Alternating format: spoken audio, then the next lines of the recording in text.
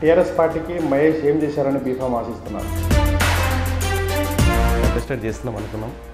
త్రుటిలో తప్పిపోయింది డబ్బున్న వాళ్ళకే బీఫామ్ ఇస్తున్నారని ఒక ఆరోపణలు. ఎలక్షన్లో మేము ముందు ఉంటే మాత్రం హండ్రెడ్ పర్సెంట్ టీఆర్ఎస్ పార్టీ అభ్యర్థిని మెజారిటీతో గెలిపించడానికి ప్రజలు సిద్ధంగా ఉన్నారు. టీఆర్ఎస్ పార్టీ ప్రజలకు ఏం చేసిందని ఒకటి అడుగుతున్నారు.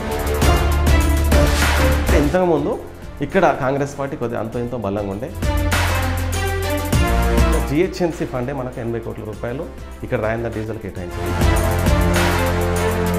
కాంగ్రెస్ పార్టీ కావచ్చు బీజేపీ ఏ అభివృద్ధి పైన కోర్టు స్టే చేసింది?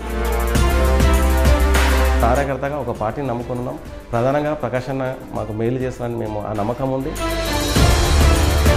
డాక్టర్ ఎక్విప్మెంట్ లేని పరిస్థితిలో ఈ సచివాలయం కట్టడం అవసరం అంటారు గవర్నమెంట్ స్టే చేస్తుంది ఎవరు కాకుండా చేస్తున్నది ఎవరు ఈ గవర్నమెంట్ క్రెడిట్ రావద్దని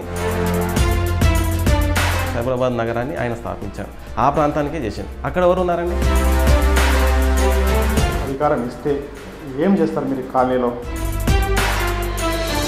ఒకవేళ అలాంటివి ఏమైనా జరిగినా క్రిమినల్ కేసులు చేయించిన దాఖలాలు కూడా ఉన్నాయి. ఇప్పుడు పదివేల మెజార్టీ మాకు మా డీజిల్లో రాబోతుంది. మహిళా సంఘాలు ఉన్నాయి వాళ్ళందరినీ ఏకం చేయాలి.